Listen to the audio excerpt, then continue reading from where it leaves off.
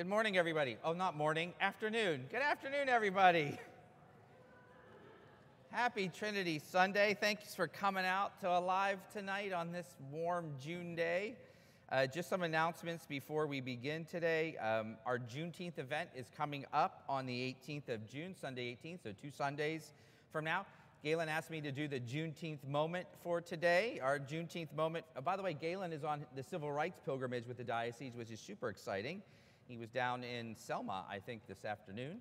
Uh, so that's really cool. So we're going to hopefully get a lot of cool stuff from Galen when he comes back, and hopefully uh, our own All Saints pilgrimage, uh, civil rights pilgrimage, which would be really sweet. Uh, so Galen has their Juneteenth moment for today. The Juneteenth flag was created in 1997, and the colors are red, white, and blue to symbolize that the free slaves were totally and truly Americans. So that's our Juneteenth moment for today. Our planning meeting is going to be this coming Tuesday at 7 p.m. Uh, also at 6:45 p.m. on Tuesday is our centering prayer group that's on Zoom as well too. So those both can happen. So 6:45 uh, centering prayer, and then 6 7 o'clock is the Juneteenth planning uh, meeting. Our Love in Action T-shirts are will be in on Friday. So if you ordered one of the Love in Action T-shirts, they'll be here on Friday. If you haven't dropped off your payment, please make sure you do so this week, or you can actually put that up on PayPal. This coming Saturday, June the 10th, is New Albany Pride. It's up at Brewdog from 12 to 5 p.m. I know many of you have signed up to help volunteer for that event. We're going to have two spaces, which is going to be awesome for the Episcopal Church. Uh, so there's still places for you if you're interested in helping out. That's from 12 to 5 on Saturday. Coming up, and you'll see it in your announcements, on July the 9th at 5 o'clock, we're going to have a team trivia night here at All Saints to help support Pelotonia. As you know, Pelotonia is that large bike race uh, that helps fight cancer. Um, it's going to be a recommended donation of about $10 per player. All proceeds will go directly to funding cancer research, which is awesome. You can bring cash that night, or we can have a donate space uh, for you on PayPal uh, for the event or you can even make a donation in advance. There will be dinner, there'll be hamburgers, hot dogs, and drinks, uh, which will be provided. Uh, all kinds of questions, rounds are laid back, no buzzers or timers. Unless we're talking about Harry Potter, then I'm going to win. And that's how that'll work. Um, you know my Harry Potter addiction. But anyone from within All Saints or outside All Saints is welcome. So tell your friends and neighbors. It's going to be a really fun night, July the 9th. You can sign up. There's going to be a volunteer link um, in your e newsletter so we know how many people are attending. All right, let's gather our hearts and minds on this evening of Trinity Sunday as we come to worship our God, Father, Son, and Holy Spirit.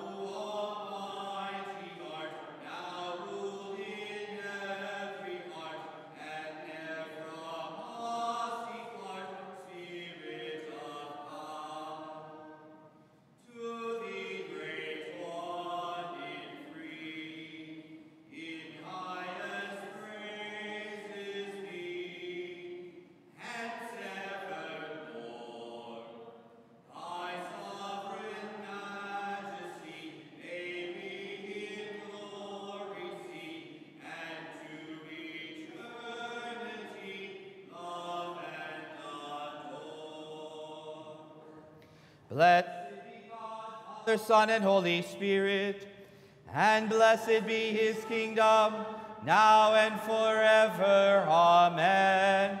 Almighty God, to you all hearts are open, all desires known, and from you no secrets are hid. Cleanse the thoughts of our hearts by the inspiration of your Holy Spirit, that we may perfectly love you and worthily magnify your holy name through Christ our Lord. Amen. Glory to God in the highest, and peace to his people on earth. Lord God, heavenly King, almighty God and Father, we worship you, we give you thanks, we praise you for your glory. Lord Jesus Christ, only Son of the Father, Lord God, Lamb of God, you take away the sin of the world. Have mercy on us. You are seated at the right hand of the Father. Receive our prayer. For you alone are the Holy One. You alone are the Lord. You alone are the Most High. Jesus Christ, with the Holy Spirit, in the glory of God the Father. Amen. The Lord be with you. Let us pray. Almighty and everlasting God, you have given to us your servants grace by the confession of a true faith to acknowledge the glory of the eternal Trinity in the power of your divine majesty to worship the unity. Keep us steadfast in this faith and worship and bring us at last to see you in your one and eternal glory, O Father, who with the Son and with the Holy Spirit live and reign, one God forever and ever. Amen.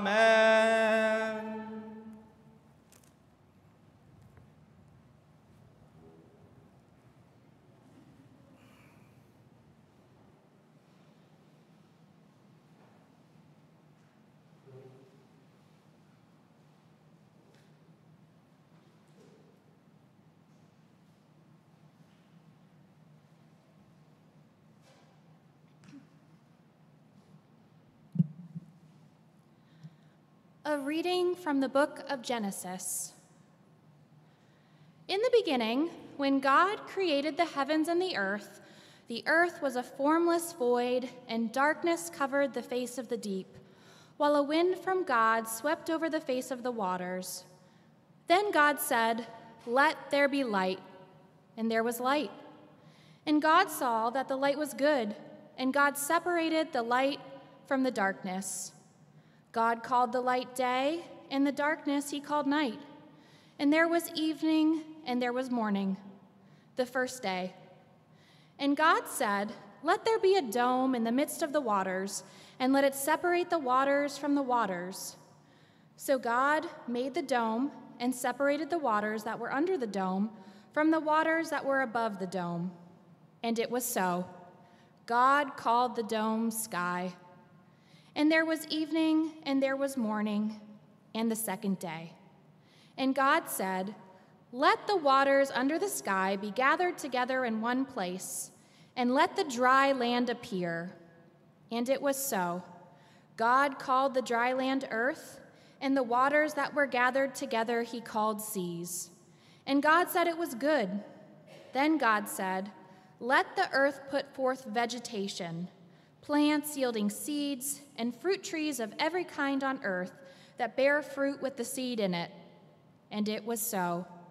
The earth brought forth vegetation, plants yielding seed of every kind, and trees of every kind bearing fruit with the seed in it. And God saw that it was good. And there was evening, and there was morning, the third day. And God said, Let there be lights in the dome of the sky to separate the day from the night, And let them be for signs and for seasons and for days and years, and let them be lights in the dome of the sky to give light upon the earth. And it was so.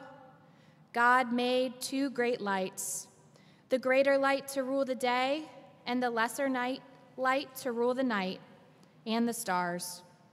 God set them in the dome of the sky to give light upon the earth, to rule over the day and over the night, and to separate the light from the darkness.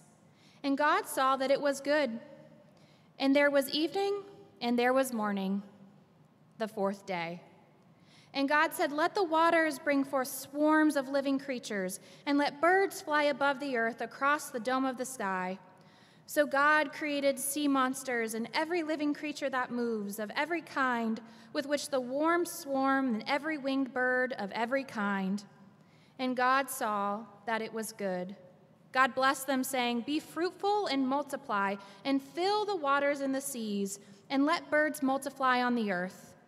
And there was evening and there was morning, the fifth day. And God said, Let every earth bring forth living creatures of every kind, cattle and creeping things, and wild animals of the earth of every kind. And it was so. God made the wild animals of the earth of every kind, and the cattle of every kind, and everything that creeps upon the ground of every kind. And God saw that it was good. Then God said, Let us make humankind in our image, according to our likeness, and let them have dominion over the fish in the sea, and over the birds of the air, and over the cattle, and over all the wild animals of the earth, and over every creeping thing that creeps upon the earth. So God created humankind in his image. In the image of God, he created them. Male and female, he created them. God blessed them, and then he said to them, Be fruitful and multiply, and fill the earth and subdue it, and have dominion over the fish of the sea, over the birds of the air, and over every living thing that moves upon the earth. God said, See, I have given you every plant yielding seed that is upon the face of the earth, and every tree with seed in its fruit. You shall have them for food. And to every beast of the earth, and to every bird of the air, and to everything that creeps on the earth, everything that has breath of life, I have given every green plant for food. And it was so.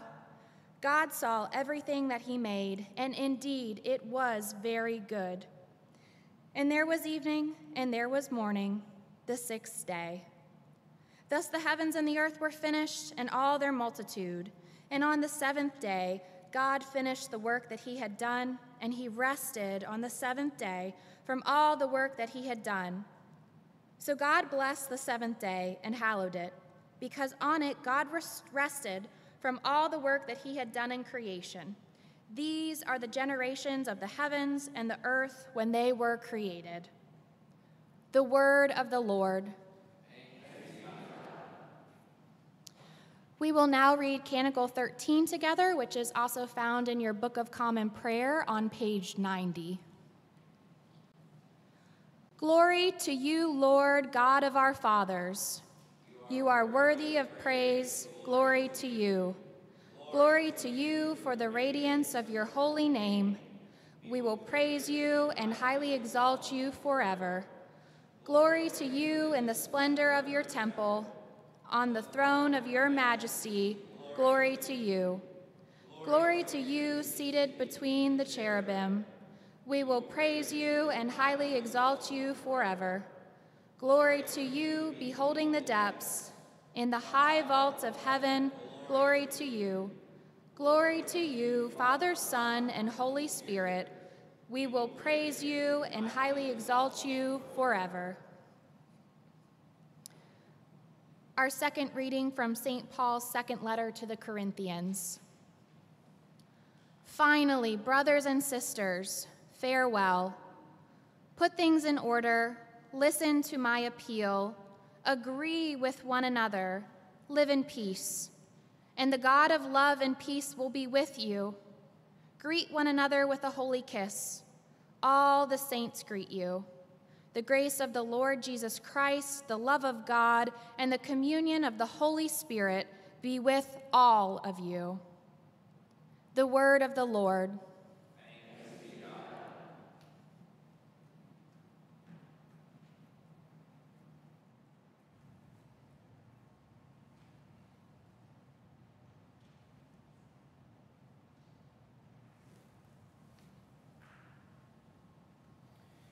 Lord be in your heart and on your lips, that you may worthily and fittingly proclaim his holy gospel. In the name of the Father, and of the Son, and of the Holy Spirit. Amen.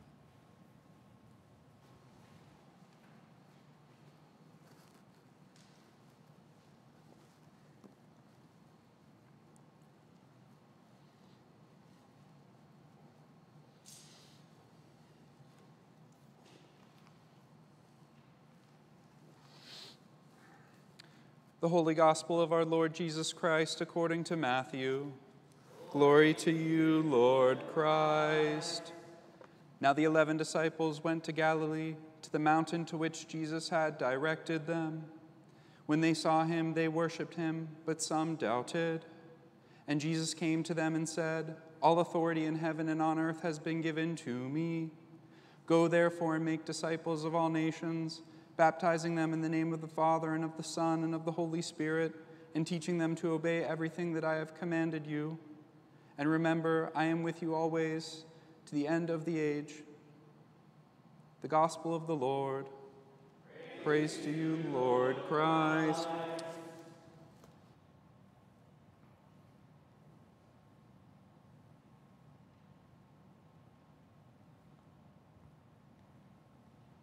May be seated. As our custom is on Alive formation Sundays, we don't have a sermon because of the teaching, and we're going to do a lot of deep teaching on the Trinity tonight. So let's sit in silence for a little while, let the Holy Spirit percolate those readings that we just heard, and then we'll stand for the creed.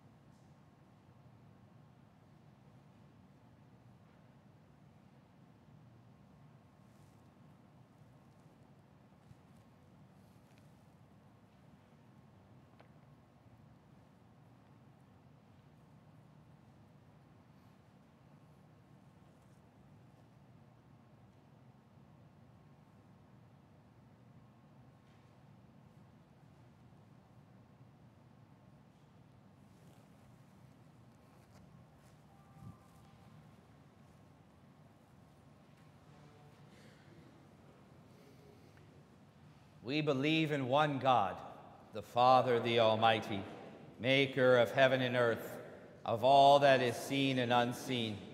We believe in one Lord Jesus Christ, the only Son of God, eternally begotten of the Father, God from God, light from light, true God from true God, begotten, not made, of one being with the Father. Through him all things were made. For us and for our salvation, he came down from heaven. By the power of the Holy Spirit, he became incarnate from the Virgin Mary and was made man. For our sake, he was crucified under Pontius Pilate. He suffered death and was buried. On the third day, he rose again. In accordance with the scriptures, he ascended into heaven and is seated at the right hand of the Father. He will come again in glory to judge the living and the dead, and his kingdom will have no end. We believe in the Holy Spirit, the Lord, the giver of life, who proceeds from the Father and the Son. With the Father and the Son, he is worshiped and glorified. He has spoken through the prophets. We believe in one holy Catholic and Apostolic Church. We acknowledge one baptism for the forgiveness of sins. We look for the resurrection of the dead and the life of the world to come. Amen. Our prayers of the people are located on Form 6, page 392 of the Book of Common Prayer. In peace we pray to you, Lord God. For all people in their daily life and work, for our, for our families, friends, and neighbors, and for, and for those who are alone, for this community, the nation, and the world for all who work for justice, freedom, and peace, for the just and proper use of your creation, for the, for the victims of hunger, fear, injustice, and oppression, for all who are in danger, sorrow, or any kind of trouble, for those who minister to the sick, the friendless, and the needy, for the peace and unity of the Church of God, for all who proclaim the gospel and all who seek the truth, for Michael, our presiding bishop, and Wayne, our bishop provisional, and for all bishops and other ministers, for all, who serve God and his church, for the special needs and concerns of this congregation.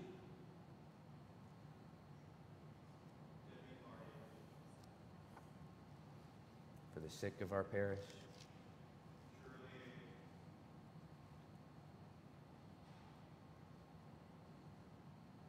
Hear us, Lord.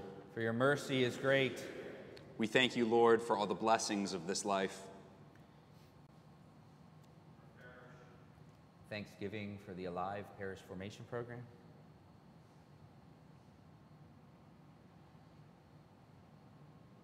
We will exalt you, O God, our King. And praise, your name forever, and ever. We pray for all who have died, that they may have a place in your eternal kingdom.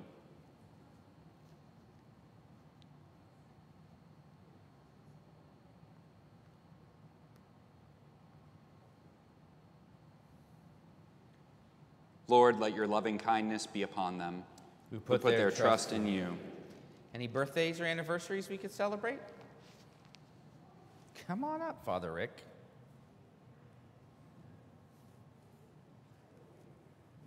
You're it. You're it. Anyone else? Ah, good. Ah, anniversary. Good. When's your birthday? Ordination. How many years? A lot. 76. 76 years. Ordained in 76. So 48. I don't know. dude. Well, I was born in 76, so it's your 48 years. of- How many years? 19.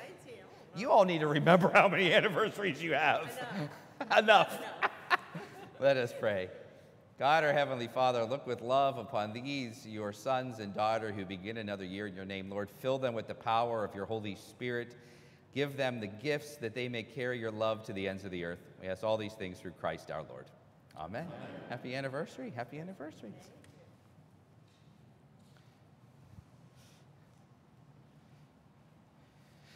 We pray to the Lord also for the forgiveness of our sins.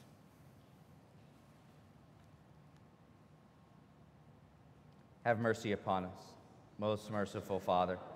In your compassion, forgive us our sins, known and unknown, things undone and left undone. And so uphold us by your Spirit, that we may live and serve you in newness of life, to the honor and glory of your name, through Jesus Christ our Lord. Amen. Almighty God, have mercy on you, forgive you all your sins through our Lord Jesus Christ, strengthen you in all goodness, and by the power of the Holy Spirit, keep you in eternal life. Amen. The peace of the Lord be always with you. Peace, peace. I told you you'd chant that sucker.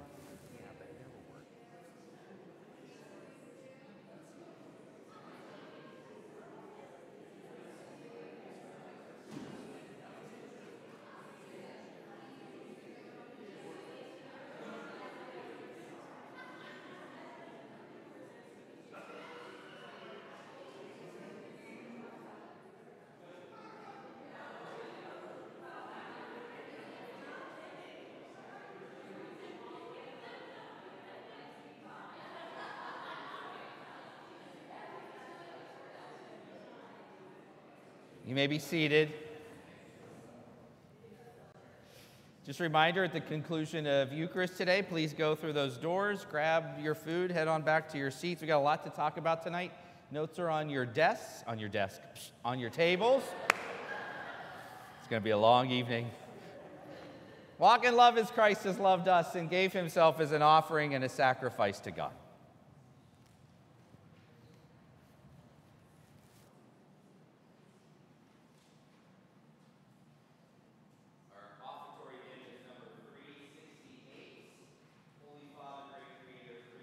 Eight. Holy Father, great Creator, source of mercy, love, and praise, Look upon the mediator, clothe us with his righteousness. Heavenly Father, Heavenly Father, through the Savior, hear and bless.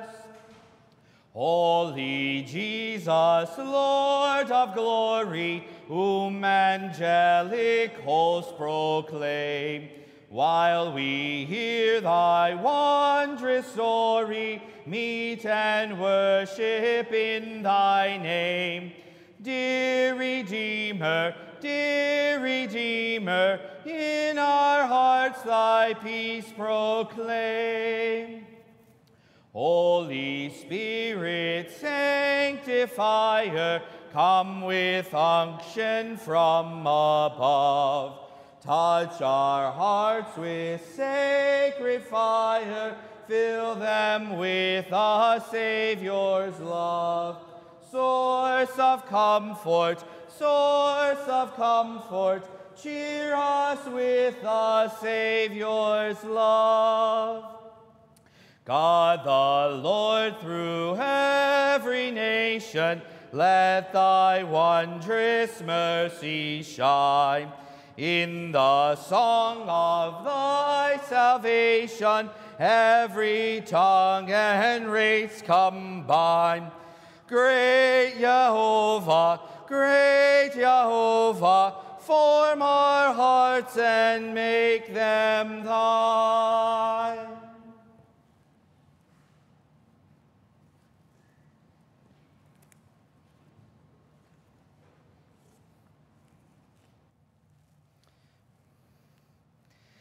The Lord be with you. Lift up your hearts.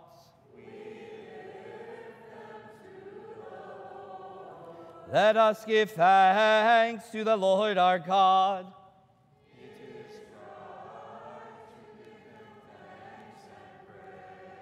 It is right and a good and joyful thing, always and everywhere to give thanks to you, Father Almighty, creator of heaven and earth. For with your co eternal Son and Holy Spirit, you are one God, one Lord, in trinity of persons and in unity of being. And we celebrate the one and equal glory of you, O Father, and of the Son, and of the Holy Spirit. Therefore, we praise you, joining our voices with angels and archangels, and with all the company of heaven, who forever sing this hymn to proclaim the glory of your name.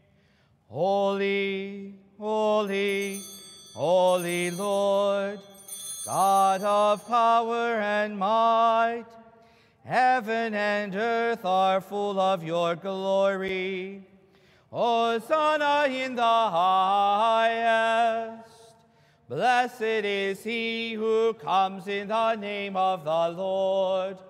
Hosanna in the highest.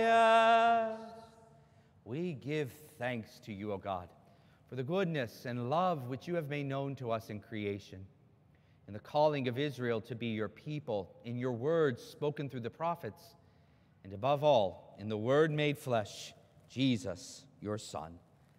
For in these last days you sent him to be incarnate from the Virgin Mary, to be the Savior and the Redeemer of the world. In him you have delivered us from evil and made us worthy to stand before you. In him you have brought us out of error into truth, out of sin into righteousness, out of death into life.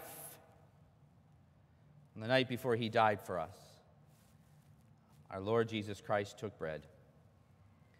And when he had given thanks to you, he broke it, and gave it to his disciples, and said, Take, eat. This is my body which is given for you. Do this for the remembrance of me.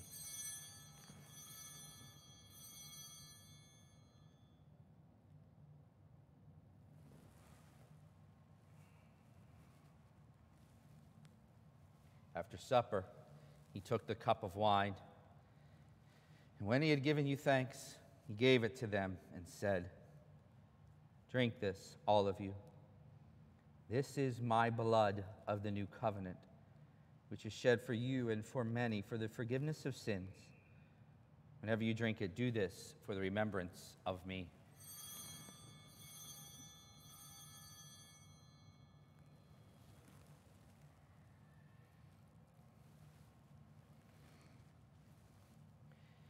Therefore, according to his command, O Father, we remember his death, we proclaim his resurrection, we await his coming in glory, and we offer our sacrifice of praise and thanksgiving to you, O Lord of all, presenting to you from your creation this bread and this wine. We pray you, gracious God, to send your Holy Spirit upon these gifts, that they may be the sacrament of the body of Christ and his blood of the new covenant. Unite us to your Son and his sacrifice, that we may be acceptable through him, being sanctified by the Holy Spirit. In the fullness of time, put all things in subjection under your Christ, and bring us to that heavenly country where, with the Blessed Virgin Mary, the Mother of God, with Saint Joseph, her spouse, with Saint Faustina Kowalska, whose relic reposes within this holy altar, and all of your saints. May we enter the everlasting heritage of your sons and daughters through Jesus Christ our Lord, the firstborn of all creation, the head of the church and the author of our salvation. By him and with him and in him, in the unity of the Holy Spirit, all honor and glory is yours, Almighty Father, now and forever.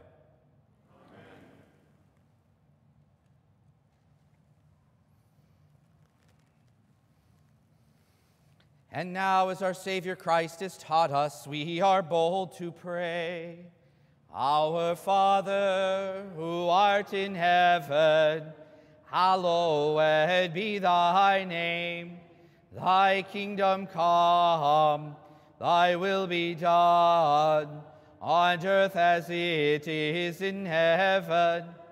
Give us this day our daily bread and forgive us our trespasses, as we forgive those who trespass against us. And lead us not into temptation, but deliver us from evil. For thine is the kingdom, and the power, and the glory, forever and ever. Amen.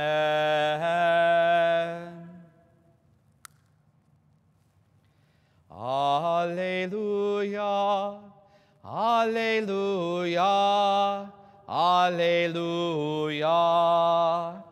Christ our Passover is sacrificed for us. Therefore let us keep the feast. Alleluia, Alleluia. Alleluia. The gifts of God for the people of God.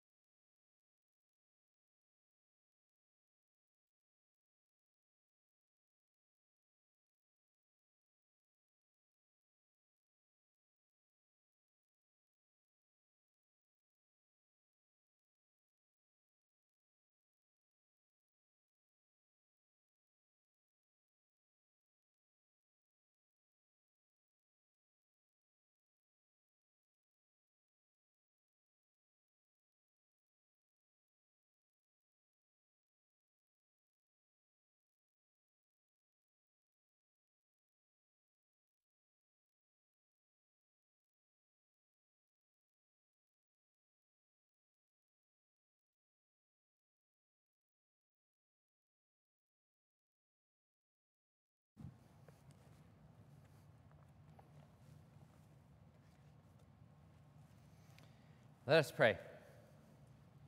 Eternal God, Heavenly Father, you have graciously accepted us as living members of your Son, our Savior, Jesus Christ, and you have fed us with the spiritual food in the sacrament of his body and blood.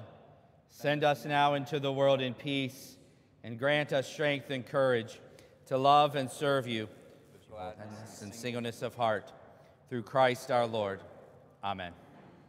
Bow down before the Lord and pray for his blessing.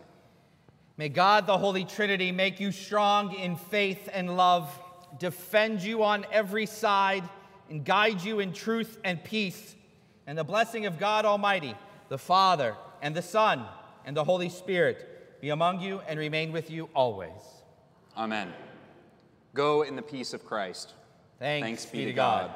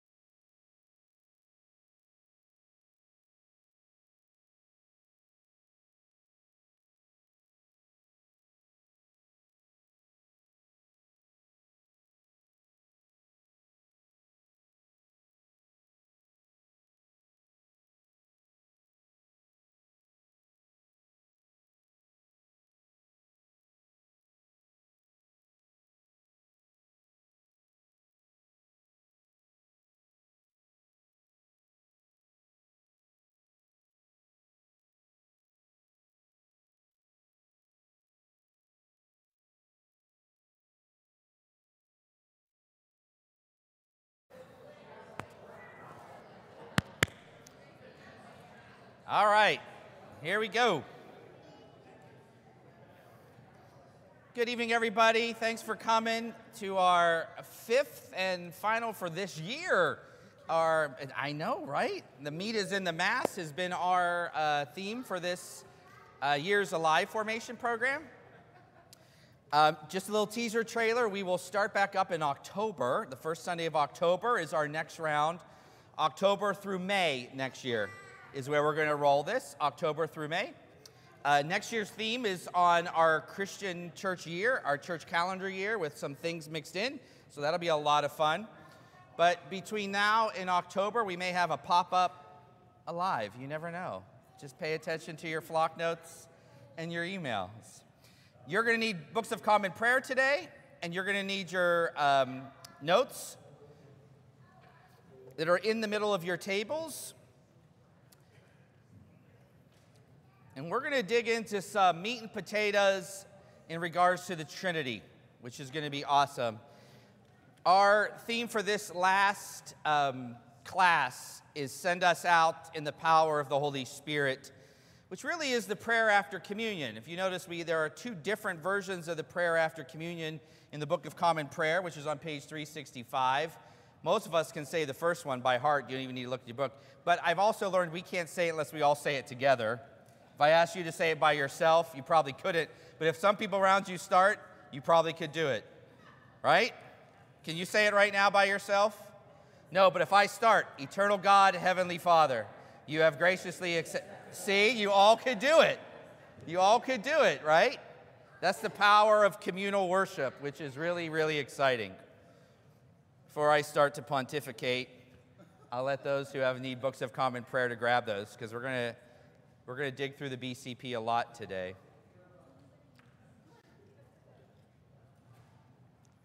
Grab your coffee because you're going to need to be awake for this class.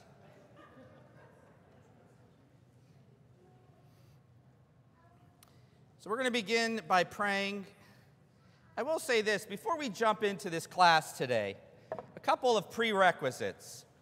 We're going to be talking about the inner workings of an infinite and eternal God, Father, Son, and Holy Spirit in the most holy Trinity. We can't do it by ourselves, right? We need the Holy Spirit to enlighten us, to deepen us. There's an old phrase we believe to understand, we do not understand to believe. Meaning, some of these eternal mysteries that we're going to be talking about today do not make any sense unless you are hooked up and connected with the Holy Spirit, who is the Lord, the giver of life, and the revealer of all truth in our hearts. We can reach some of this by human reasoning, and we're going to talk about some of that. But it's extremely important for us and we begin to start to understand the Trinity that we really need to have a deep relationship to the Holy Spirit who's going to enlighten us to even more. I come to find out myself the more I pray, the more I understand. We believe to understand. If we sat here to say, I'm going to understand all this and then I'm going to believe, you're never going to believe. Because the Holy Spirit needs to enlighten our hearts. That's part of all this, along with our intellects. They both have to be present. So let's begin this prayer after communion together. Book of Common Prayer, page 365.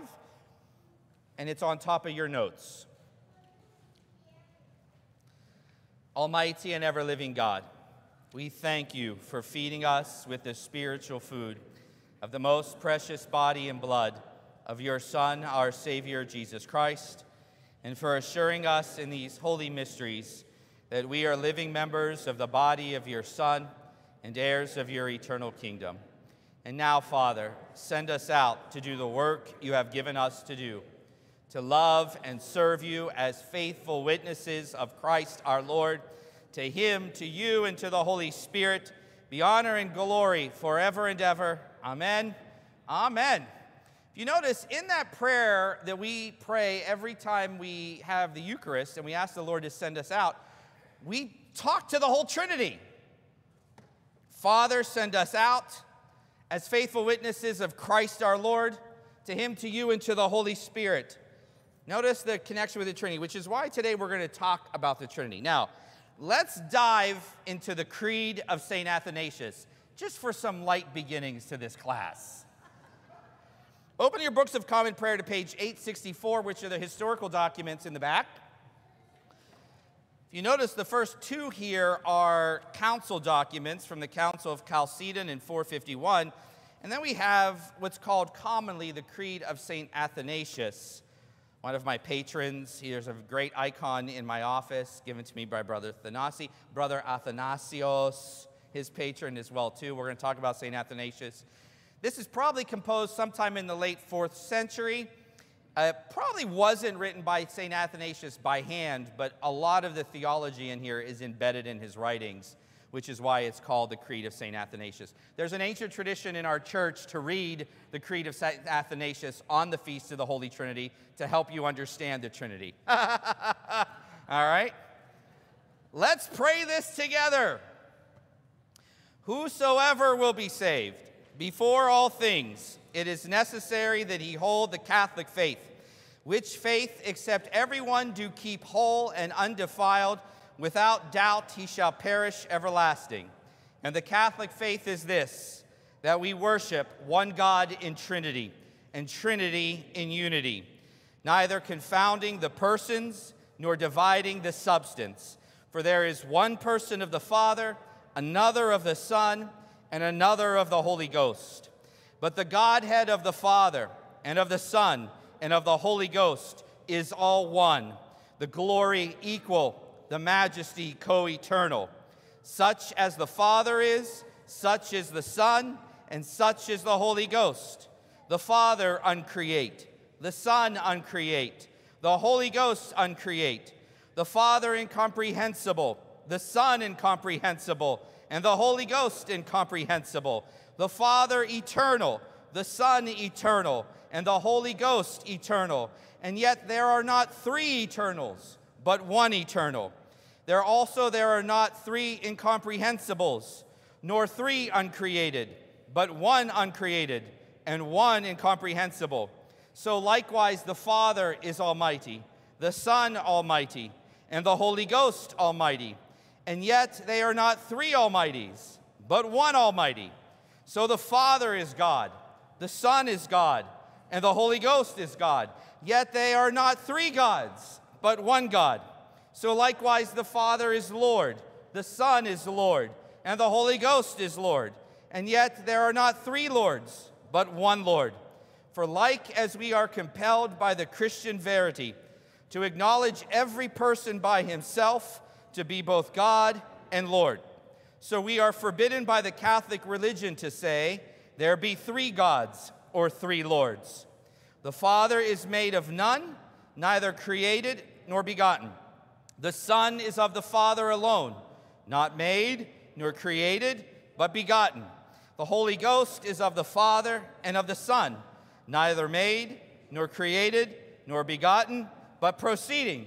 So there is one Father, not three fathers, one Son, not three sons, one Holy Ghost, not three Holy Ghosts. And in this Trinity, none is a four or other one is greater or less than another, but the whole three persons are co eternal together and co equal. So that in all things, as it foresaid, the unity in Trinity and the Trinity in unity is to be worshiped. He therefore that will be saved must thus think of the Trinity.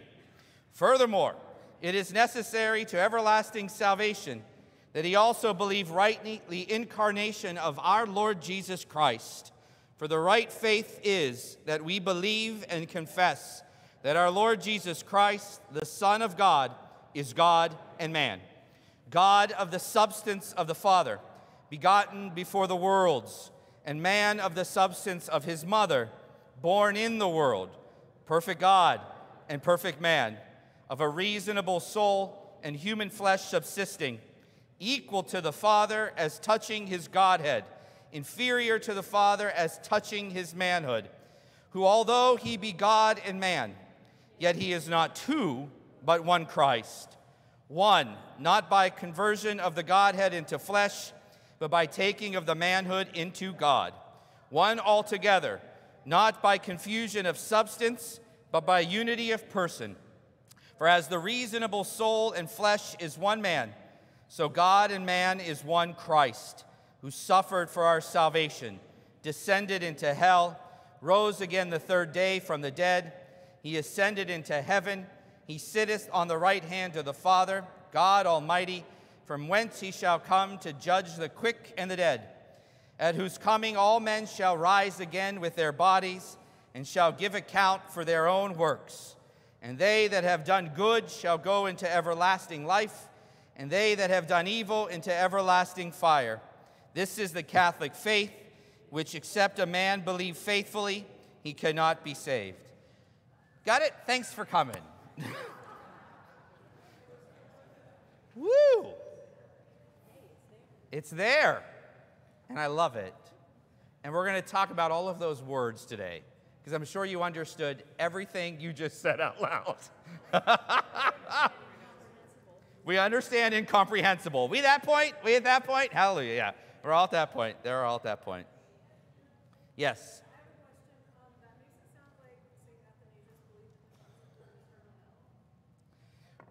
There's a whole thing of whether that was actually in there or not. And the English compared to the Greek. That's another class, but good point. So if you didn't hear her, she was like, so St. Athanasius believed in an eternal hell. That's a whole nother class, what that actually says in the original Greek. But we're not going to tackle that today. Look, Thanasi's antsy. He's like, I can do it. Nah, we're going to stick on the Trinity right now, and we will do a class on, in the fall, on heaven and Hades. All right, we'll do that. And then you can have a sidebar conversation with Brother Athanasios after this conversation. Deal? All right. That's a lot. That's a lot. There's a story that was written in the Middle Ages about St. Augustine. St. Augustine spent his entire life trying to figure out the Trinity. And one of his famous and most beautiful works is De Trinitatis on the Trinity. And there's a story that kind of emerges late after his life that St. Augustine was in deep pondering, walking the beach in Carthage, where he was from, walking and pondering the Trinity, and he saw a little child by the water with a seashell. And he dug a little hole in the beach and he was watching this little kid. And he would watch as the little boy went to the big huge mediterranean ocean that's there and scooped out some water and kept bringing it back to the hole and would run over and scoop out some water and put it back into the hole. And he was doing this over and over and over and over again. And st augustine finally came up to him and said what are you doing? He said oh i'm going to put that whole ocean in this little hole and Augustine said, You can't put that whole ocean in that little hole, it won't fit. And the little boy looked at him and said, Neither can you understand the Trinity. and when Augustine turned away, there was no more little boy there. So that tells you what we're ready to embark on. We are going to talk about words and concepts that the church has taken centuries to fine tune to try to continue to do what? Pass on what we've been taught by Jesus. Jesus revealed to us the Trinity. We're going to talk about this stuff. We love our Lord. We know He's risen from the dead, bodily risen from the dead. He has changed the course of human history. He has taught us and revealed us things to God. And the church holds this as precious jewels in the broken earthen vessels that we are. And because of our love for what he said to us, we'll protect it for all that we can as finite human beings trying to understand an infinite God. So, even all the words that we're going to talk about tonight are straw compared to the depths of the Trinity. But God has given us an intellect and enlightened us by the Holy Spirit to begin to grasp these things that we will see, by the way, face to face when you're in His presence in eternity. This will all make sense then but we're going to get a little appetizer on this side of the grave. Good? So, if you notice, my notes are much more thick than they usually are in regards to verbiage because I slaved over this on the stove, cooking this thing, making sure that my words were as precise as possible to the faith that's been handed down to us through the centuries. Well, let's talk about how the formation of the doctrine of the Holy Trinity was kind of formed in the church. All right? And we're going to, I'll probably read a little bit and then I'm going to pontificate. From the beginning, from the very beginning, the revealed truth of the Holy Trinity has been at the very root of the church's living faith. Principally, how? By means of baptism. And we heard this in the gospel proclaimed today.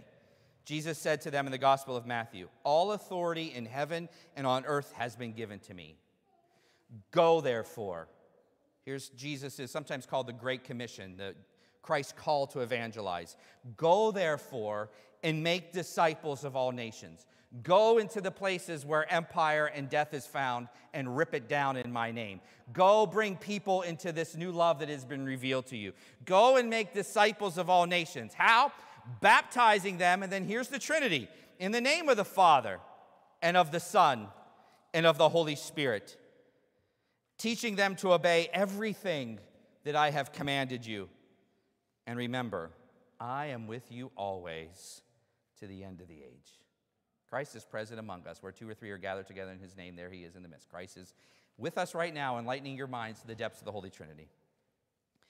In this rule of baptismal faith that's been handed down to us by Christ, we do not have the authority to change it in any way, shape, or form because it's been handed down to us by our Lord Himself. In this rule that He gave us, the Trinity is explicitly revealed by Him and handed on to us. St. Paul says all over the place, I hand on to you what was handed on to me. The word we, tradition that we get isn't tradition like I'm going to put candles on a cake and blow them out for your birthday. That's, that's kind of tradition, our tradition. Traditio means handing down. As Christ reveals the faith to the apostles and the early disciples, they hand it down to the next generation, they hand it down to the next generation. I have not made any, this is not me. I did not make any of this up.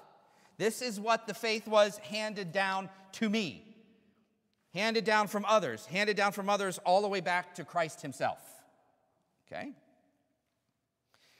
The early disciples of Jesus, way back, right after the resurrection, formulated this expression of the Trinity in their preaching, in their catechesis, which means in their teaching, and in their liturgies. Such formulations are already found in the apostolic writings of Paul and of Peter and the other apostles in the New Testament letters. And I use this one, which is commonly used in liturgies, and we heard it today in the second reading, by the way. The grace of our Lord Jesus Christ and the love of God and the communion of the Holy Spirit be with you all. Notice the formulation there Christ, the grace of our Lord Jesus Christ, the love of God, the Father, and the communion of the Holy Spirit. Notice the Trinity. In 2 Corinthians, by the way, all of the apostolic letters are all written before 70. So we're talking 30 to 40 years after the passion, death, and resurrection of Jesus.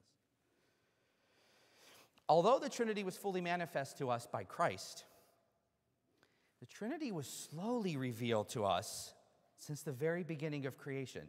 Did you notice the reading that we read in Mass today that was about 37 minutes long? right? The whole first chapter of Genesis, right? And you kind of zone out by day three, right? Right? Notice how it begins. And this is interesting because this is where you got to really learn Hebrew and as well as Greek. Genesis 1 1, from the very beginning. In the beginning, God created the heavens and the earth. Now, the Hebrew word for God is Elohim. Fun part Elohim is plural. El is singular. Elohim, created, is a plural, plural noun. But the verb is singular.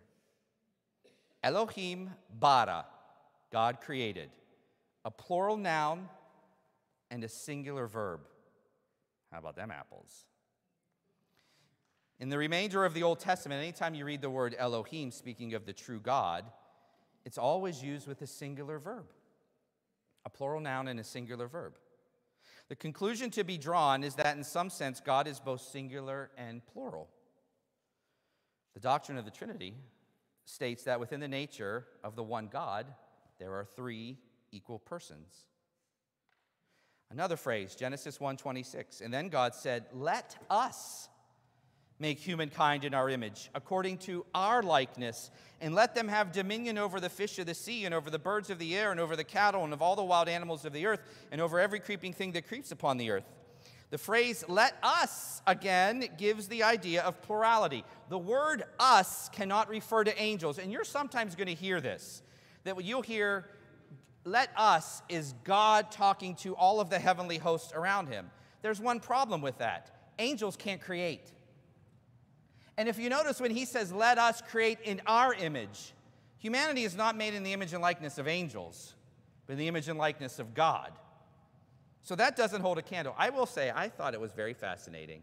Rabbi Benji gave me a modern commentary on the Torah that's been used in his rabbinical school.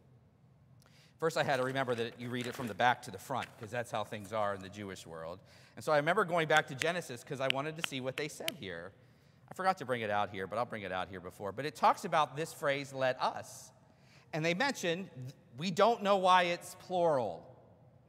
It could be because of the angelic court that the Lord is present in when the world is created. However, in Christian theology, this is a clear representation of the Trinity. So, in the first chapter of the Bible, we have a hint of the Trinity with the plural title Elohim, used with the singular verb, and God speaking and saying, Let us.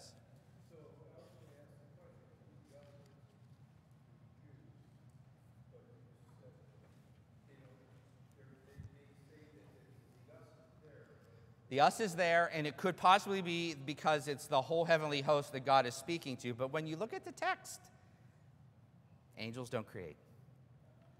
And it's awfully interesting that the word for God is plural and the verb is singular. Scripture is inspired by the Holy Spirit. And by the way, I just gave you one glance of the Holy Spirit that is all foreshadowed all throughout the Old Testament. We can probably have one whole class on all the foreshadowings of the Old Testament images of the Trinity, which are all over the place the word of the Lord came and the Spirit said, and you're like, oh, that's the Trinity. Anyways, this slow revealing of the Trinity, Gregory of Nazianzus, say that three times. We're going to talk about Gregory. He's one of my favorites with all this. In his Oratio Theology, that's dated somewhere between 329 and 389, which was his life, he writes this The Old Testament proclaimed the Father clearly but the Son more obscurely. The New Testament revealed the Son and gave us a glimpse of the divinity of the Spirit. Now the Spirit dwells among us. We just celebrated that last week with Pentecost and gave us a clearer vision of Himself. It was not prudent when the divinity of the Father had not yet been confessed to proclaim the Son openly, and when the divinity of the Son was not yet admitted to add the Holy Spirit as an extra burden, to speak somewhat daringly by advancingly and progressingly from glory to glory, the light of the Trinity will shine in ever more brilliant rays. So you can see how the Lord, throughout the scriptures from the Old Testament to the present time, slowly revealed one God in three persons. Now, during the first centuries of the church, especially the first 400 years, the church sought to clarify what we mean by the Trinity revealed by Christ. For what reason? to deepen our own understanding of the faith and to defend it against errors that were seeking to deform it. You know, when Jesus tells us something and someone says contrary, you correct it because you love them, right? So if someone came to you and said, Father Jason was wearing a fuchsia cassock teaching to us tonight, you would say, Well, that's kind of nice, but no, he was in a black cassock tonight. One of you is right. Why? Because you were here and saw it. So when the Jesus hands down to us the understanding of the Trinity from the apostles on and on, when things deviate from the norm, the church goes, uh uh-uh, uh, that's not what he taught us. That's what were happening in the first four centuries of the church. Things and people cropped up that contradicted what Christ taught us. And the church, inspired by the Holy Spirit, who Jesus gave us to defend us in all truth and to lead us in all truth, helps correct us. This clarification of the Trinity was the work of early councils. Anyone know which councils? Don't look on your notes. Council of Nicaea, Council of Constantinople, and then we can talk about Ephesus. But for the most part, the Trinity was defined in the first two councils of Nicaea and Constantinople, which is why when we profess the faith at every Eucharist, sometimes we mistakenly say, and now we profess our faith in the words of the Nicene Creed, when in reality it's the Nicene Constantinople Creed. Okay? When did these councils occur? Nicaea was held in 325, Constantinople was held in 381. There's a thing in our church right now that drives me bonkers of folks who don't want to use the creed or say the creed was given by Constantine in 325, forced upon the church to hold on to this kind of Roman law so that everyone would have to be forced to believe. That's a bunch of hooey. And especially in our modern church, we have people who write their own creeds, who refuse to save the creed, yada, yada, yada. Fact of the matter is, that's a lot of white privilege. Because there were no white people at Nicaea. The 300 and some bishops who were present at Nicaea were all people of color from the Mediterranean basin. And all of those bishops who were present, a majority of those bishops, bore on their bodies the scars of torture, made their way through Roman persecutions, were beaten, flogged. A lot of them were martyred. And these ones who were left were called confessors of the church because they would rather suffer prison and torture and exile and persecution than deny the faith that was handed on to us by Christ. So when I hear people who disparage the creed, it gets my ire up. If anything, because of those great bishops who were there, who are people of color, carrying in on their bodies the persecutions against their faith and their deep love that they had for Jesus Christ. All right, I'll get off my soapbox. And through the work of these great leaders and servants of Jesus, and sustained by the faith of the church that was around them, our Trinitarian faith was clarified and richly expressed. All right? What do we believe about the Trinity? Gird your loins. All right? Catechism, Book of Common Prayer, page 852. What is the Trinity? I kind of copied this here. The Trinity is one God, Father, Son, and Holy Spirit. One God in three persons. So the first thing let's unpack is the Trinity is one. We do not confess, and you heard that in the Creed of St. Athanasius. We do not confess three gods, but one God in three persons. The divine persons of the Trinity do not share the one divinity among themselves. This is called partialism. That God the Father is part divinity, Jesus is part divinity, the Holy Spirit is part divinity, but when you put them all together, they're one, which means, you know, Jesus is one third God and the Holy Spirit is one. That's called partialism. We don't believe that. Each of them is God, whole and eternal and e- entire. Now, this comes from the Council of Toledo, which was in 675. The Father is that which the Son is, the Son is that which the Father is, the Father and the Son is that which the Holy Spirit is, by nature, one God. One God. Got that? Let's just start foundation. Now, if you notice in that Athanasian Creed, you heard numerous times the phrase in English, substance. Did you hear that when we read the Athanasian Creed? All of the same substance, the substance, the substance, the substance. The church specifically took the term substance. Sometimes you're going to hear essence, other time nature, sometimes we're going to talk about why being being to designate what? The oneness of the Trinity, the unity of the Trinity, the oneness of God. In our modern Nicene Creed that we proclaim, we say we believe in one Lord Jesus Christ, the only Son of God, eternally begotten of the Father, God from God, light from light, true God from true God, begotten, not made. And then this line, of one being with the Father. Remember saying that today? Of one being with the Father. Now, when you go to the actual Greek of the Nicene Creed, the word is homoousios. Okay?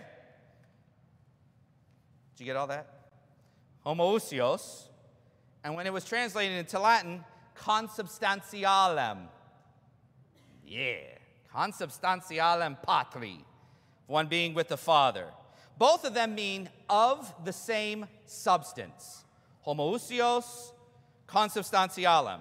The, believe it or not, the original Book of Common Prayer from 1549 uses the phrase being of one substance with the Father. It gets changed when we have the liturgical renewal of the late 70s, and so our Book of Common Prayer says, of one being with the Father.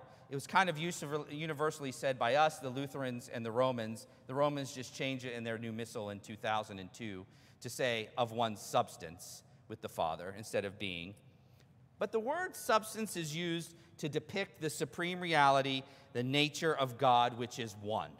So when you hear substance, think of the oneness. Of one substance with the Father means Jesus is fully God, the Father is fully God, the Holy Spirit is fully God. All right? So the word substance equate with one or unity.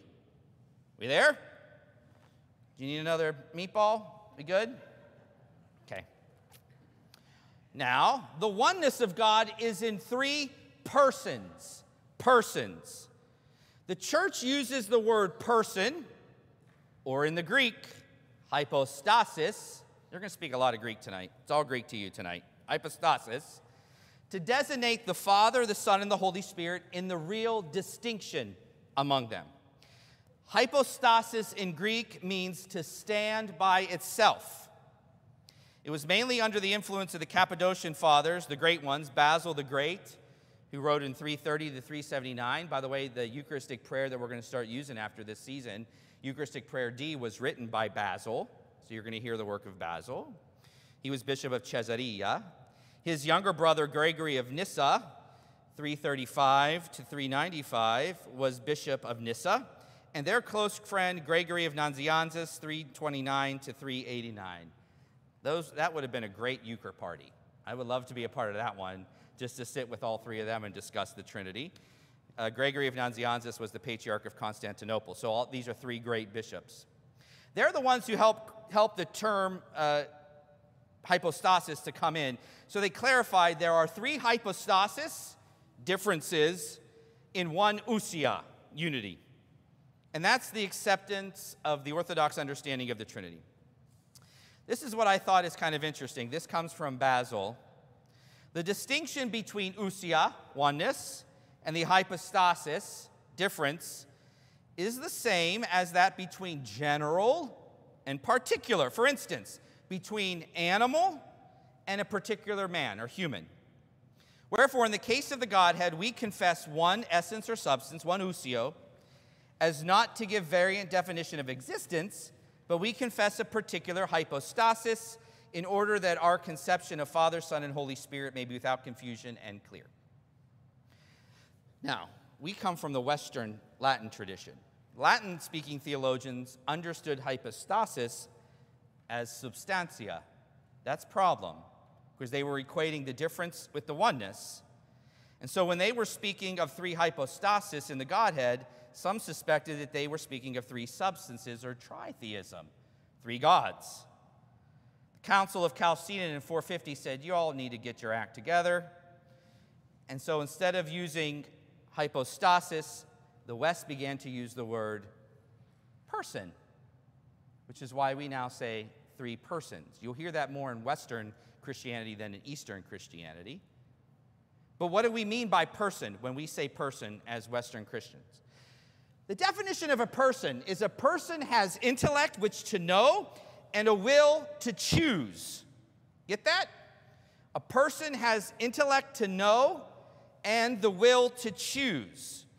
A person is always someone, not something. Animals are not persons. They have intellect, but they're governed by instinct. Animals don't have free will.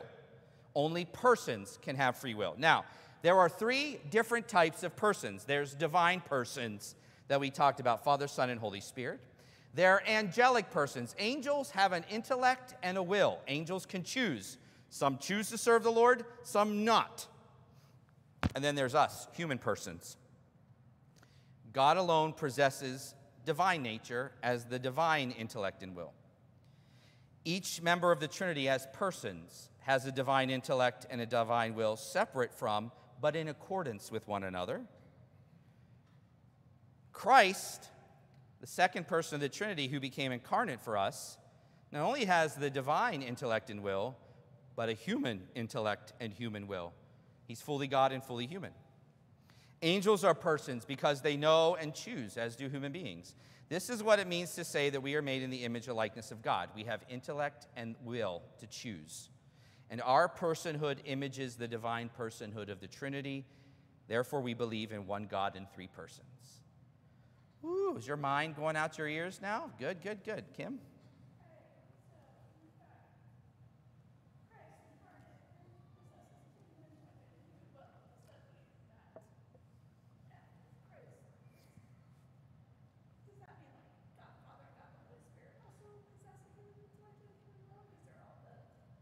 No, no, no, no.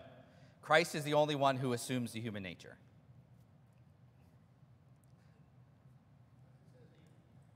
It says equal.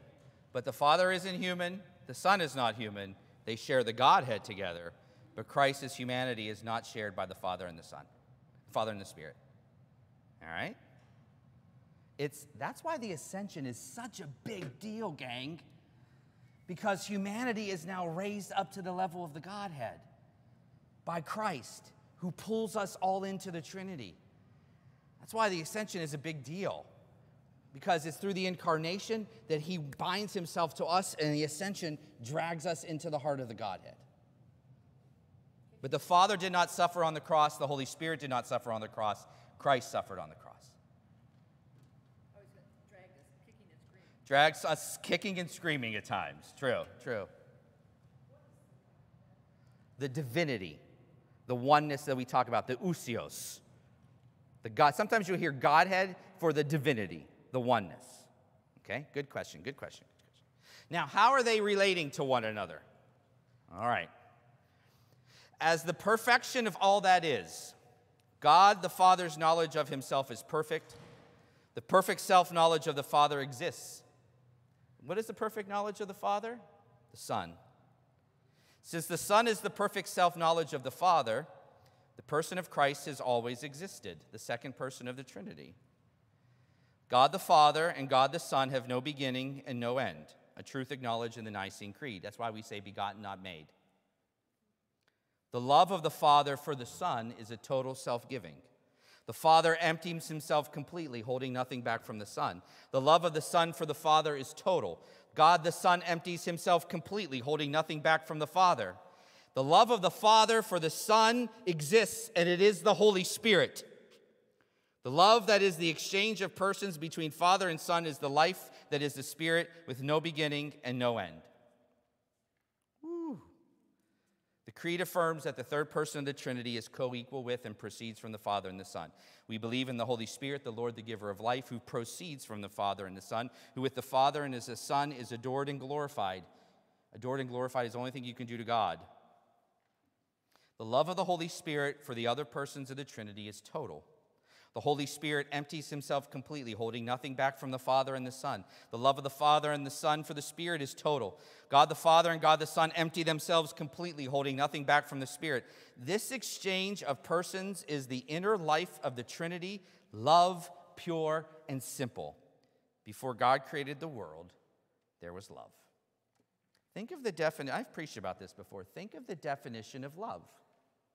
When we say love, you are automatically assuming a trinity. Love is one, but a person chooses to love. You can't love a thing. Ultimately, that love is false love. A person has to love another person, a someone, not a something. The Father, his perfect self knowledge, the image of the invisible God, says St. Paul, is the Son. The Father fully loves the Son, the Son fully loves the Father, and the love in between them is the Holy Spirit. So when you say love, there's already three things someone who loves someone else, and the love in between them. One, two, three. Love by itself, by its definition, is one and three, because God is one in three persons. Woo. Yes. The love between the Father and the Son is the person of the Holy Spirit. What do you mean? If you notice, we, we, made in the image and likeness of God, do that.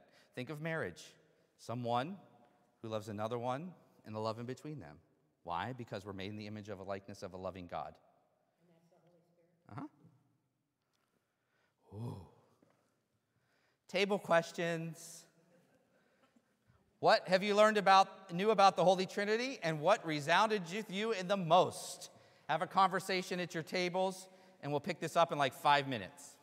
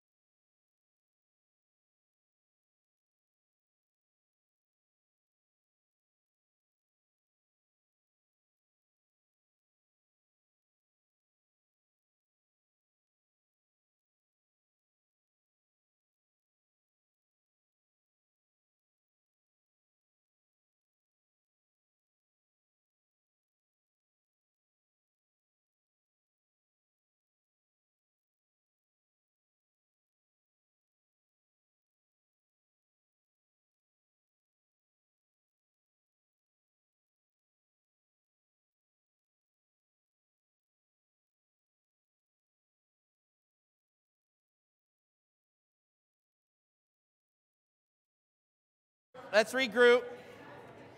Woo! You all are like talking like theologians. I like it. Yeah, you're trying to understand each other. Two questions that I heard amongst the floor as I was walking that I want to clarify. Someone, one table talked about a lot of times you hear God and Jesus. And is God, when we kind of hear that language, what we're really meaning is the first person of the Trinity that we call Father. And the answer is yes. So, for example, in that Second Corinthians passage, you say, um, the grace of our Lord Jesus Christ, the love of God, and the fellowship of the Holy Spirit. Well, Paul is not saying that the Holy Spirit and Jesus aren't God. The word God used there really is meaning the first person of the Trinity, the Father. The Council of Nicaea, the reason the Council of Nicaea was called, there was a horrible human being named Arius who was present at the time, who was trying to tell people that Jesus was not God, that he was not fully God, that only God the Father was God. Jesus kind of gets taken up, but he is not equal to God. And the council got together. And by the way, that heresy is blatant all over the church nowadays. Because I'll have people say to me, God and Jesus. And I'm like, Jesus is God. So who are you talking about? Are you talking about the Father or the Holy Spirit, or do you, are you an Arian? So the Council of Nicaea said that what Arius was teaching was wrong, and this is the faith that was handed to us by Jesus Father, Son, and Spirit are God. They're, it's God, okay? And one of the big proponents of that is St. Athanasius. And at one time, close to 85 90% of the bishops of the world were Arian. And poor Athanasius was exiled from his uh, episcopal see nine times because he held fast to what he believed. And people were saying to him, just give it up and join the rest of us. And his famous phrase is, then it's Athanasius against the world. And it was Athanasius who, on the council floor, was the one, because of his theology, that made sure the church and the Holy Spirit used him to stay in the right frame of mind. That's why the, I love the icon that um, Brother Thanasi gave me. You see Athanasius and you see all the bishops of Nicaea behind him, and he's stepping on Arius. yes. Thanasi. Yeah, he was a deacon during the Council of Nicaea. So, deacons, here you go, right? All right. Woo, good, good, good theology. We're diving in. Let's go a little bit more. Let's go a little bit more, all right? Let's talk about the Holy Spirit. Now, someone said to me, Well, what's the difference between Holy Ghost and Holy Spirit? And my dad thought the Holy Ghost got promoted to Holy Spirit, right? Remember, the, the original word in Greek, spiritus, in German is Geist, where we get ghost. And then during the liturgical reforms, it goes back to more of a, a, an English that says spirit. Ghost and spirit literally mean the same. So if you say Holy Ghost or you say Holy Spirit, it means the same thing. So, what do we believe about the Holy Spirit? Catechism, Book of Common Prayer in your back, 852. I put it already on your sheet for you. What is the Holy Spirit? The Holy Spirit is the third person of the Trinity. God, and I love it because remember what we know about the Holy Spirit. The love between the Father and the Son is the Holy Spirit. The Holy Spirit is God, love at work in the world and in the church even until now.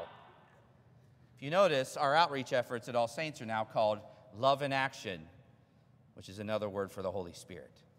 All right? Love in action.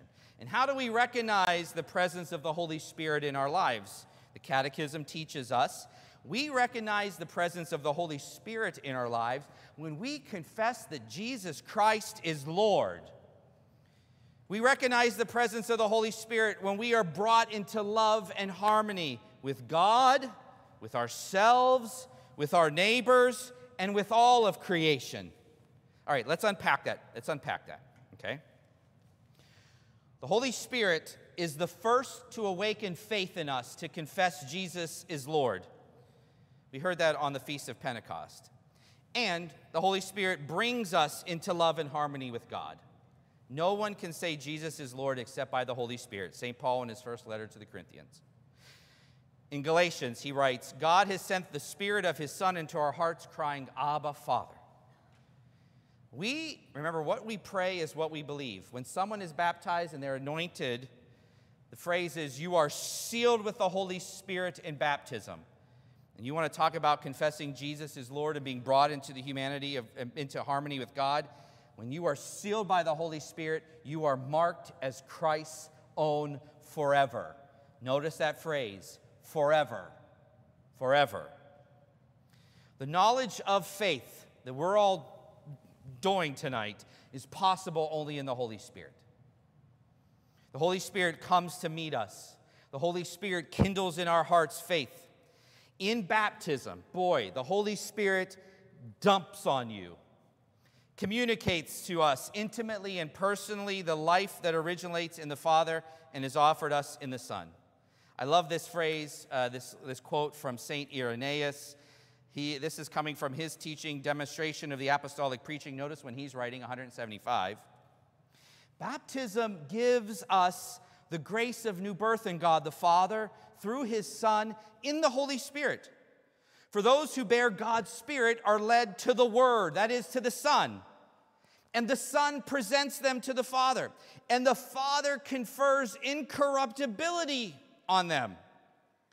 And it is impossible to see God's Son without the Spirit. And no one can approach the Father without the Son. For the knowledge of the Father is the Son. And the knowledge of God's Son is obtained through the Holy Spirit. See how Holy Spirit in Christ brings us into the heart of the Trinity through baptism? That's why mm-hmm, we baptize as Jesus taught us to baptize in the name of the Father and of the Son and of the Holy Spirit. In the name. St. Basil the Great, in his work on the Holy Spirit, through the Holy Spirit, we are restored to paradise. Through the Holy Spirit, we are led back to the kingdom of heaven. Through the Holy Spirit, adopted as children, co heirs with Christ, we are given confidence to call God Father and to share in Christ's grace, called children of light, and given a share in the eternal glory. So the Holy Spirit is the first to give us the grace to confess Jesus is Lord. When you say Jesus is Lord, it is by the power of the Holy Spirit, and you believe it. All right? We there? We pray in the creed, the Holy Spirit is the Lord, the giver of life. If you go to a, today is Pentecost in the Orthodox Church. And we're going to start wearing this color next week. But if you went today to a, an Orthodox church to celebrate Pentecost, the color they wear is not red, but green. And the church is packed with greenery, leaves everywhere. Because if you go outside today, everything is green, well, except for the grass, right? But the Lord, the Holy Spirit, is the giver of life. If you notice in our catechism, we say that we recognize the presence of the Holy Spirit when we're brought into love and harmony with all of creation. Tonight, we read from Genesis, we all heard in the beginning, God created the heavens and the earth, and now the earth was formless and empty. Darkness was over the surface of the deep. And then I love this the Spirit of God was hovering over the waters, already making it ready for life. All right? When we bless water in the Book of Common Prayer, we pray, we thank you, Almighty God, for the gift of water. Over it, the Holy Spirit moved in the beginning of creation. Remember, everything that we pray is scripture and the theology that's handed down to us. The Holy Spirit, the Lord, the giver of life. In the Easter blessing for the Easter vigil, when we bless water, which is one of my favorite prayers, it's really thick and rich and powerful. The priest begins to pray, Almighty God, mercifully assist us who observe this, your commandment, to baptize all nations, and of your great goodness, breathe your Holy Spirit upon us. And the priest literally breathes the sign of the cross over the water. By the word of your mouth, bless these clear waters. And I breathe again. That besides their natural virtue of cleansing the body, and I breathe again, they may by your grace cleanse our souls. And then I love it. We take the paschal candle there, Christ on fire with the Holy Spirit descending into the water. It's like the River Jordan all over again when he was baptized. And we pray, may the power of the Holy Spirit descend into all the water of this font and make the whole substance of this water, because water has substance, fruitful for new birth. the Lord, the giver of life. To be born again, you must be born again of what? Water and the Spirit. All right? We hear in Ezekiel 37, I prophesied as he commanded me. Breath, you know, this is the them bones, them bones, them dry bones. He breath entered them. The, the word for spirit is ruha. Do you hear that breath? Ruha, the very breath of God. And those bones came to life and they stood up on their feet, a vast army. Psalm 33 6 By the word of the Lord the heavens were made, by their starry host, a breath of his mouth, the Holy Spirit in creation. The Troparion for morning prayer, this is a liturgy of John Chrysostom from the East. It belongs to the Holy Spirit to rule, sanctify, and animate creation, for he is God consubstantial with the Father and the Son. Power over life pertains to the Spirit. For being God, he preserves creation in the Father through the Son. All right? So we recognize the Holy Spirit in creation, the Lord, the giver of life. We recognize the presence of the Holy Spirit among us when we're brought into love and harmony with ourselves and each other. Cyril of Alexandria He's writing in 373, 444 in this commentary on the Gospel of John, chapter 11. All of us who have received one and the same Spirit is the, the Holy Spirit, are in a sense blended together with one another and with God. For if Christ, together with the Father and his own Spirit, comes to dwell in each of us, though we are many, still the Spirit is one and undivided. He binds together the spirits of each and every one of us, and makes all appear as one in him. For just as the power of Christ's sacred flesh unites those in whom it dwells into one body, I think that in the same way, the one and undivided Spirit of God who dwells in all leads us into spiritual unity. The Holy Spirit makes us one. You ever been in the presence of the Holy Spirit? Sometimes it's the, I feel it a lot when we wash feet on Maundy, Thursday when there's that very intimate time where the Lord is washing our feet, we're washing the feet of each other, there is a spirit of love here and unity that you can't break. The Spirit is making us one.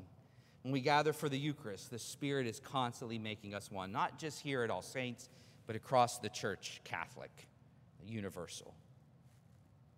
So that's what the Book of Common Prayer says when we believe about the Holy Spirit. By the way, this is a whole semester course on the Holy Spirit. But very quickly, how does the Holy Spirit now move in the church? Love and action. How does the Spirit move in the church? Where is the Holy Spirit present among us in the church? He's in the scriptures in which he has inspired. He's in the tradition, this apostolic tradition to which the church fathers are always timely witnesses. I can assure you, as I keep reading the early church fathers, you probably in your heart are going, wow, that's the Spirit. The Holy Spirit is present in the church when we gather for councils, like all those ecumenical councils, and even in synods, which we have in our Episcopal Church General Convention, which He assists. I love that line. He assists. One thing I've always learned about the Holy Spirit, the church has always taught about the Holy Spirit, the Holy Spirit is a gentleman, meaning He will not impose His will. God wants people who love Him, not slaves. Oh, He's going to coax and He will woo but he will not impede your will, which is why when the angel came to Mary, it was her choice to say no or not. And if she said no, none of us would be in here this morning. It's evening. Why do I keep saying morning?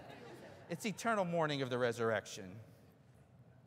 The Holy Spirit is present when we gather in the liturgy through its words and symbols in which He puts us in communion with Christ.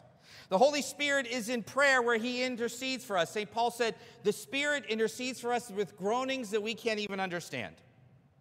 He is present in the charisms and in the ministries by which the church is built up. He is present in the signs of apostolic and missionary life. He is present in the witnesses of saints through whom He manifests His holiness and continues the work of salvation. And how does the Holy Spirit act in us? He prepares our hearts and He comes to us with His grace to draw us by Christ. Yes, you made the choice to be part of Alive these five months. Yes, you made the choice and you got in your car and you made side dishes and uh, entrees, and we came to Matt. Yes, you made that decision, but I can assure you it's because the Holy Spirit was chirping in your ear to bring you here.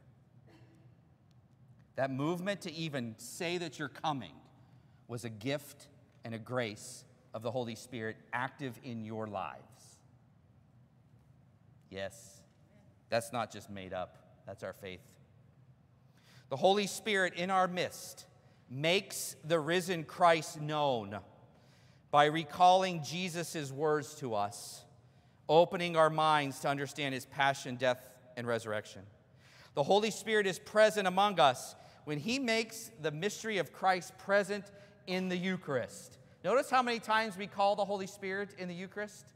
Especially during what's called the epiclesis, or the calling down of the Holy Spirit, right? Send forth your Holy Spirit upon these gifts. If you notice, I even with my hands, my body is, right, is expressing the Holy Spirit is coming down. In the Eastern Church, they'll take the, the chalice veil and they'll fan it like the wind over the Spirit. The Spirit comes down, making this the sacrament. And if you notice, I make the sign of the cross. And by the oh, by the way, you ever see my fingers like this when I bless? It's not because I'm crippled up because it's been a long day and I need, I'm dehydrated, right? You just thought about that today. You're like, what is he doing? Because normally I bless with the sign of the cross with our open hand, right? But when Jesus is now present, when the bread and wine have become his very body and blood, I sign and make the sign of the cross with his name. I C X I. Anyone know what that means, Thanasi? Jesus Christ, Son of God, Savior. So you'll see, this is how you bless in the Orthodox Church a little bit, right? But I C X I. I make, when Christ is now present, when the Holy Spirit comes down, this is Jesus is here. He gets his little monogram towel right? So I make the sign of the cross. And then if you, you hear me say, too, not only has the Spirit come down and transformed the gifts of bread and wine, sanctify us also. And you all make the sign of the cross. But if you ever notice me up here, I go like this. Do you ever see that? It's not because I'm dramatic Italian, I'm making big gestures. But the Holy Spirit is literally thick on this altar. And I'm scooping him up and smacking him on my head. So feel free to do that from your chairs. Reach out and grab him because the Holy Spirit is now hovering, you know, overshadowing, as he said to Mary. The power of the Holy Spirit is present here, transforming the gifts of bread and wine and also sanctifying us. That's why you make the sign of the cross. It's because you're asking the Holy Spirit, who's now present, to sanctify this body, as He's now made for us the very body and blood of Christ in the Eucharist, that our bodies may be sanctified by the Spirit and prepared for the day where we're all going to feel the resurrection. Woo. The Holy Spirit reconciles us in confession, forgiveness of sins, and brings us into communion with God. The Holy Spirit nourishes us. The Holy Spirit heals us. The Holy Spirit convicts us of sin. Amen. Amen. The Holy Spirit fills us with gifts and grace. The Holy Spirit gives us life. And then finally, the whole point of this class the Holy Spirit sends us out. Remember that prayer we started with? Right? As I said, we are given two tasks by our Lord. And it's the, now the motto of our church. And that opening prayer excuse me, the prayer after communion, but the opening of this class, if you notice, encounter Jesus, be his disciples.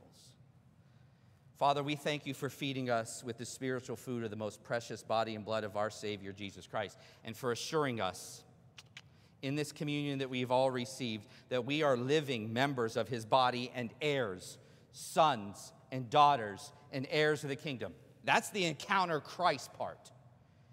And now, Father, in the power of the Holy Spirit, send us out to do the work you have given us to do. Be disciples, to love and serve you as faithful witnesses of the risen Christ that we just encountered. To you and to the Holy Spirit, be honor and glory now and forever. Encounter Jesus, be his disciples. We can't encounter Jesus without the Holy Spirit. We can't encounter Christ and not be his disciples in the world. We need the Holy Spirit. We can't just be people out in the world becoming the united way with nice vestments and forgetting about Jesus who grounds us. Discipleship is both encounter Christ, be disciples. Whew. At your tables, five minutes. Where do you see the Holy Ghost at work at All Saints? At your tables, where do you see the Holy Spirit in all these different ways present in our parish and moving and guiding us? All right.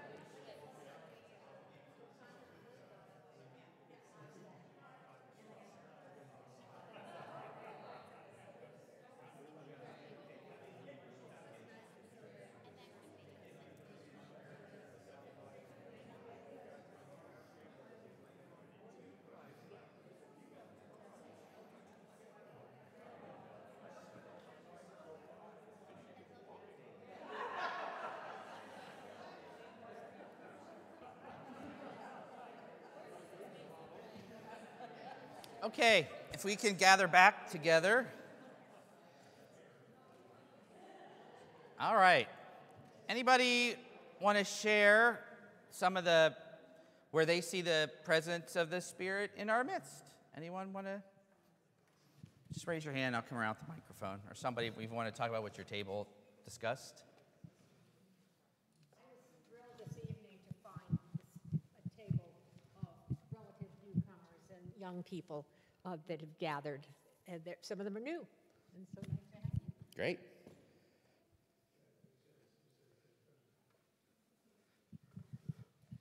I would say something for me is seeing the parish community take ownership over ministry and outreach and everything that we're doing. Um, yeah, yeah, seeing that over this past year, I think has been huge. And that's definitely, I think, in my eyes, a mark of the Holy Spirit's presence throughout the whole parish. Is everyone coming together and, and expressing, oh, here's where I see a need. Oh, here's where I see a need. And, and folks coming together to meet that um, with one another, whether it's via, you know, different committees or just different um, volunteers or, you know, with youth ministry, parents, things like that. So. Cool. I did grin for the first time this week, and I was so emotional when I got home. I said, "Oh my gosh!" In those three hours, we did uh, over a hundred pounds of food that went to people that wouldn't have that if we were. And I was just very proud that our church is doing that. People that don't have, and we're giving our time, and which is nothing compared to what they go through on a daily basis. So it was just Cool, cool.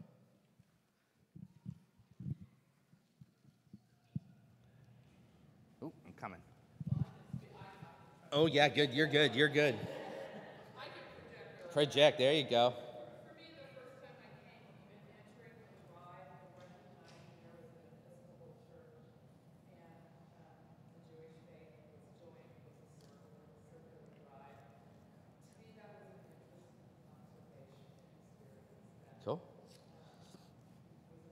Yeah, that we have good relationships with the synagogue across the street.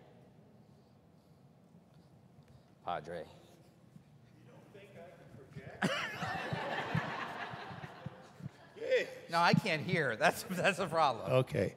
Uh, I was reflecting on uh, that 25 years ago, we didn't exist for all practical pur- Well, we didn't. It was me It at was that you. point. It was you and her. Yeah, It was him in a car at a phone booth making phone calls. That's right. And, um, and this is very different, obviously, from where we were in year one and two and so forth. And every time that we kind of felt that we weren't quite where we ought to be, we'd make little course corrections over those years. And it, it had to be the Holy Spirit. And, and those course corrections continue uh, to this day. And, Yeah. and that's just being in tune with the Spirit. And uh, if we get off kilter, the Spirit will let us know. Yeah. Yeah.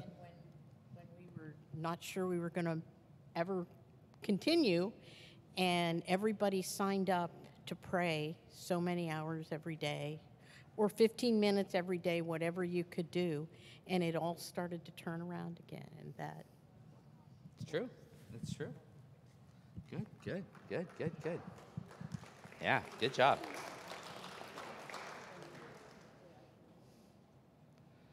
Anybody else? Yeah. you can, you can tangibly feel the Holy Spirit in this, in this group every time we get together and in your leadership. Thank you. Yeah, you don't have to clap. That's all Jesus.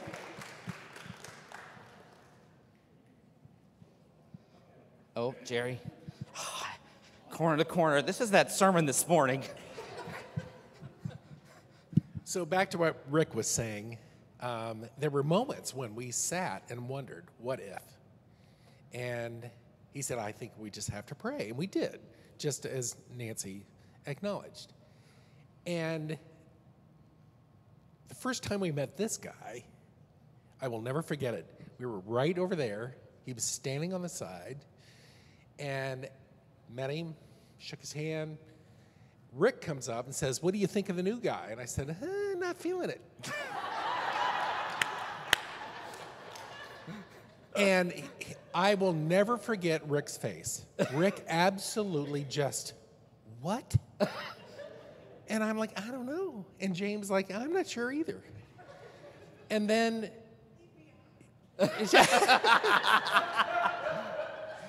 she said, let's go to lunch with him. We invited him to lunch. And immediate. But what I really want to share is that we talked at our table about uh, how do you step out? And and we just we just wanted a church closer to home, which was Gahanna at the time. But something was uh, I, I don't know. It just it just happened. So I, I think that the spirit is very different here. Not different, he or she is the same, but it, it calls us forward. And how fortunate to be in a congregation where things are growing and things are moving and people are engaged. I mean, how blessed we are. So we're, we're lucky. Amen. Amy.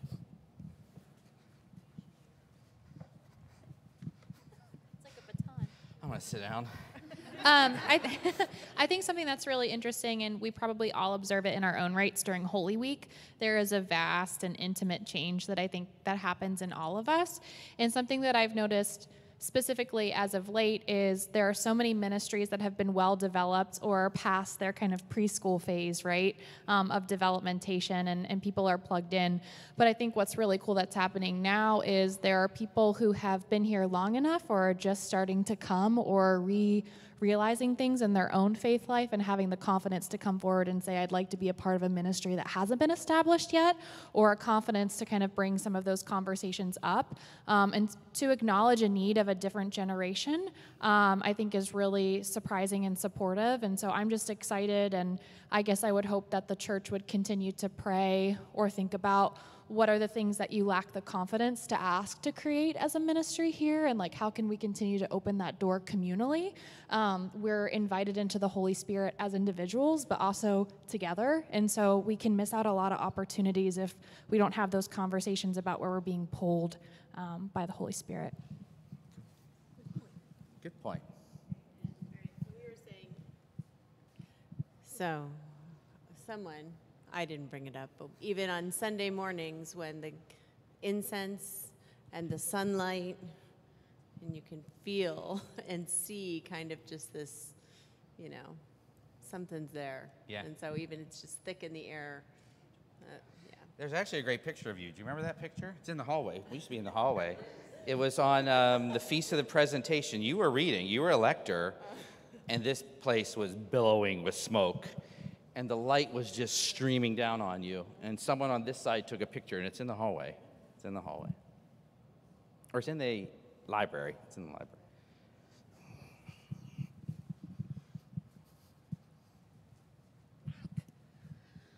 So I, I think I was saying to like our table, I think one of the big ways that the Holy Spirit moved in um, our church was that during lockdown, during quarantine, there was no question that we were still church.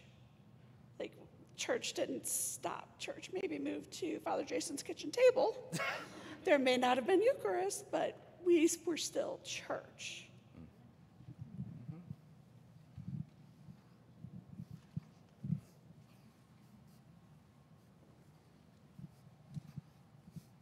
The deacon's going to double dip. Thanks. I just had to add another one. I would just say mass, really, just mass. Um, Amy and I started coming here because a Thursday night Eucharist was offered at the time, and we couldn't make it on Sundays due to my previous job. Um, that's why we we started coming here.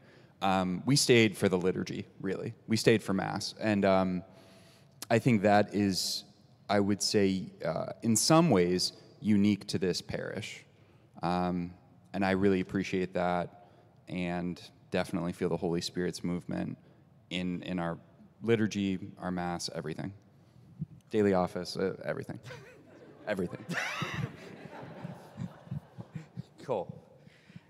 Thank you all. Thank you all for A, sharing. That's a big thing about our faith, is to be able to share and talk like this and to dive in, in deep theology. And as Carolyn mentioned, I see the Holy Spirit present in each and every one of you. I mean, let's be honest. Sunday nights, we start alive, you know, I knew by June things would dwindle down. People are busy, which is why next year we're running from October to May. You know, June's a little rough. There's a lot of graduations here, but over 200 people are engaged in this program, and you've been coming month by month, joining your small groups, coming to the level three. That is the presence of the Holy Spirit. This isn't about numbers. This isn't about how visible we are. This is about making disciples. Disciples who change the world, and Christ moves among us in you. So thank you for your commitment. Thank you for your participation. Thank you for your reflections and your questions. This may be our last uh, Alive One for the calendar year, but please make sure you're meeting with your small groups this month. Our level three classes will be on the Feast of St. Peter and St. Paul, which is a Thursday, the 29th.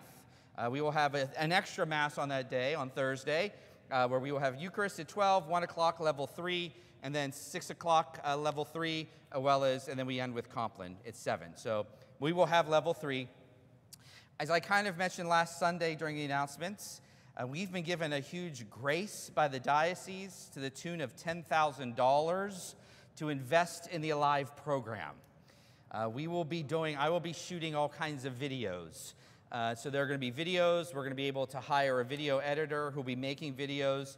The flock notes that you guys have, make sure you've signed up for flock notes, either texting or email. Uh, but you're going to get more videos, quick videos, five to 10 minute videos that'll come out on a much more frequent basis to tie us back into the theme, to, to have formation. And then there are parishes in the diocese that want to be a part of this, especially parishes that don't have an active formation program. God bless Sam. Everyone clap for Sam.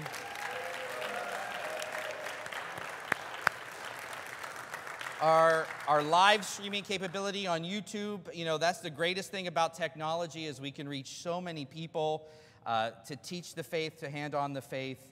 Uh, you're going to have some even guest speakers come along. Mother Tricia Lyons can't wait to be a part of this. I'm meeting with her in June about that, so she'll be helping along with a couple others, which is very exciting.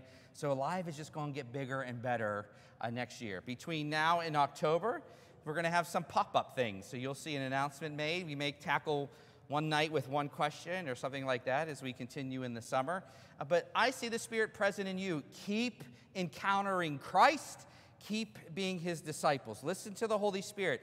Pray. Uh, level three class, by the way, this month is going to be on the divine office that Matt mentioned, how we're constantly seeking the Holy Spirit every day to do the work that he's called us to do how to pray the divine office, what it looks like here at All Saints, the theology behind that. That'll be level three class. And I'm sure our level three class is going to be a question and answer. What's great about this grant is all those level three classes will now be able to be recorded and sent out and edited and all of that good stuff. So you, more people can participate even in that class. So that's coming up there. Let's pray, eh? One of the traditional customs on the Feast of the Trinity is to say what's called the Te Deum, or the You Are God, a great hymn of praise together to the Trinity and thanksgiving for the whole liturgical year of glory. But especially, I think it behooves us tonight to pray it in thanksgiving for Alive and these last five months uh, of this calendar year. So go to the page 95 of the Book of Common Prayer as we will recite the Te Deum together on page 95. And I think it's important for us to stand and we'll face our Lord together. And let's say this together You are God, we praise you. You are the Lord, we acclaim you. You are the eternal Father. All creation worships you. To you, all angels, all the powers of heaven, cherubim and seraphim sing an endless praise. Holy, holy, holy Lord, God of power and might. Heaven and earth are full of your glory. The glorious company of apostles praise you. The noble fellowship of prophets praise you. The white robed army of martyrs praise you. Throughout the world, the Holy Church acclaims you.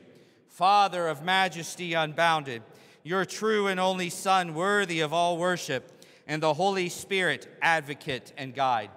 You, Christ, are the King of glory, the eternal Son of the Father. When you became man to set us free, you did not shun the Virgin's womb. You overcame the sting of death and opened the kingdom of heaven to all believers.